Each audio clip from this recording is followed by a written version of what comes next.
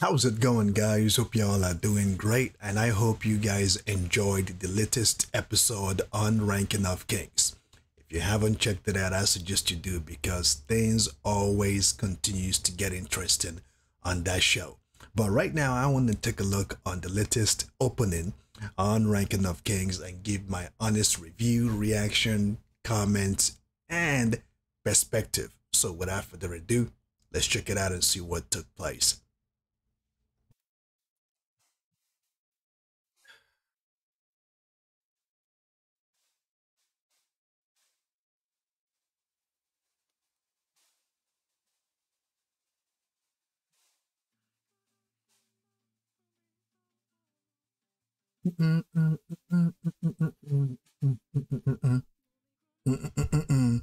Now, right off the bat, what I can see right here is uh, for most of y'all that have paid attention on this show, um, the significance of Bojji walking and the other characters and just walking past him, not really, really paying him attention that much, really mocking him and snubbing him and you know, really ignoring him. And right after that, you see Kagura also facing the same predicament as Bojji. Now, for most of y'all that have watched this show from the beginning, you know that Bojji and Kagura kind of has similar uh, experience growing up. As you can see, people are throwing stuff at Kagura and uh, humans that are walking past him don't really pay him attention. They're ignoring him, you know. And then he looks over and he sheds tears. Tears drops out of his eye. And let's continue.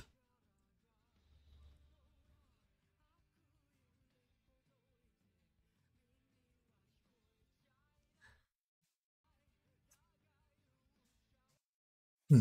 And we see uh Bojji looking over the horizon here, smiling and we see his brother. He's still stuck where he is, you know.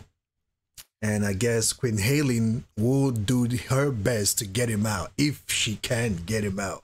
Because I believe that what is happening to this kingdom is deeper than we think. It is deeper and ominous. And let me just say that an evil omen has come upon this kingdom. And he and it, it has rooted in in the kingdom, and it would take a lot to root the evil out of the kingdom.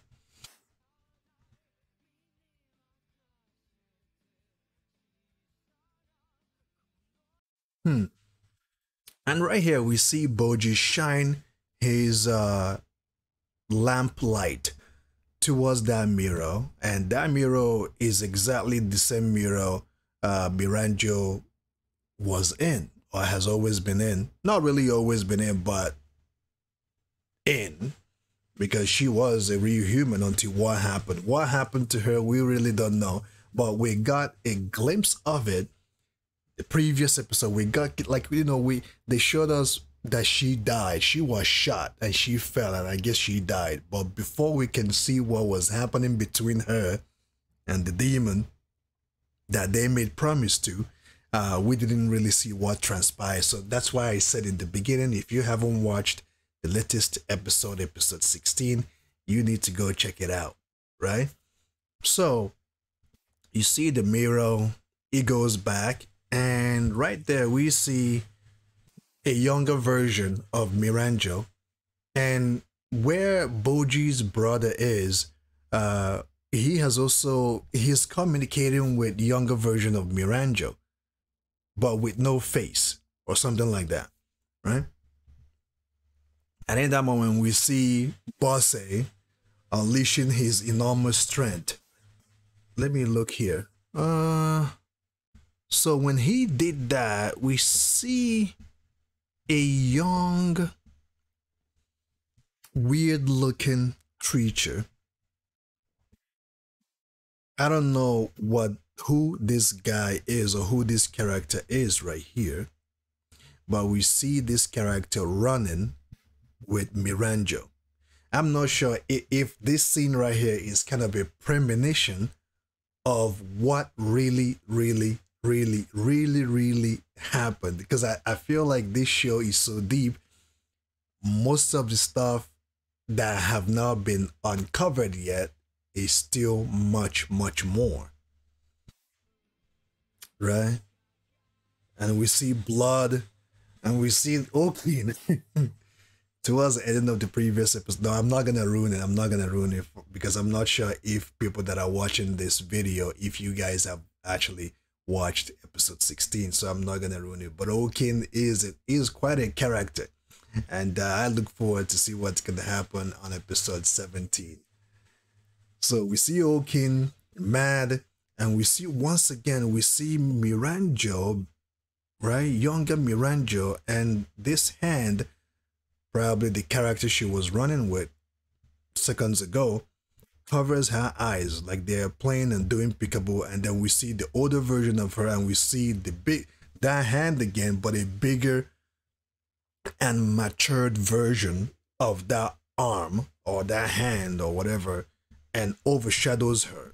Or it's almost like that hand covers her and consumes her right and the scene goes off and we see uh Kagura doing his thing, and then we see Desha, and we see the youngest brother.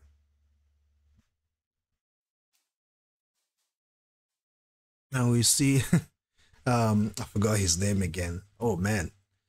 And we see Damas and we see Hokuro. Who is this? Oh, Dosha. You see Doshi and we see Bojji's brother. You know, and here we see all the characters, and we see Queen Helen showing her love to Bojji. And I've said this on one of the episodes.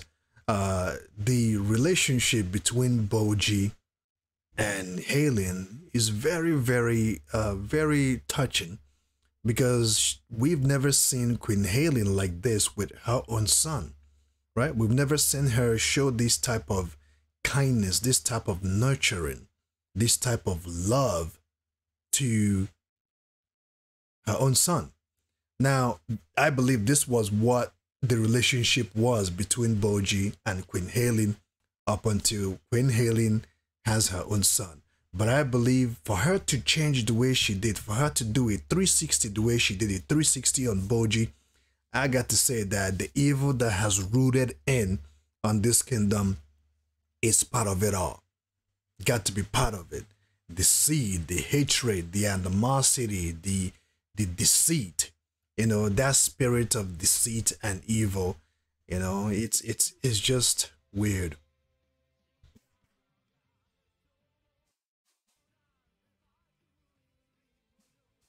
And after that, we see uh, Bojji with his sword. Despa trained him, and the shadows are closing in, asking, What are you? Yeah. And that is the end of the opening. Now, if you guys want, you can go scene by scene and read uh, the lyrics, but let me do that as well here since you guys are already here. Might as well give you guys more for clicking this video, right? Now let's go over the lyrics. Right now, there is something choking back tears.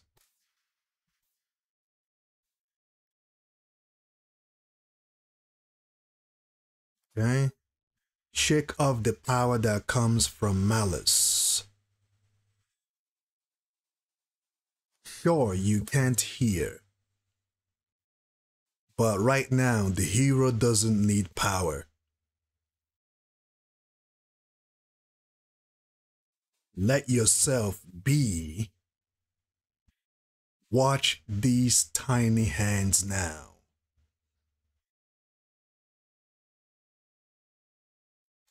Everything I have everything I have fallen in love with and the curse that fell upon me too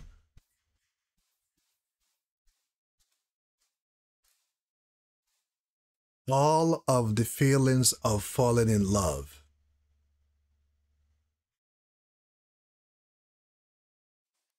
Give me enough light to protect them. Mm. Shake off the power that comes from malice. And we see Bojji. I, I, I guess this this lyrics is um is totally focused on uh Bojji his situation, his handicap, and also not wanting him to die in malice for everything that he has gone through and everything he's still going through. Shake off the malice and focus on the power, you know, that comes within and use righteousness, use love to conquer. Sure, you can't hear. But right now, the hero doesn't need power.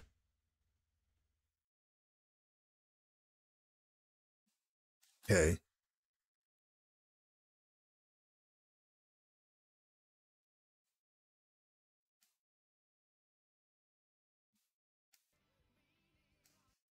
Let yourself be.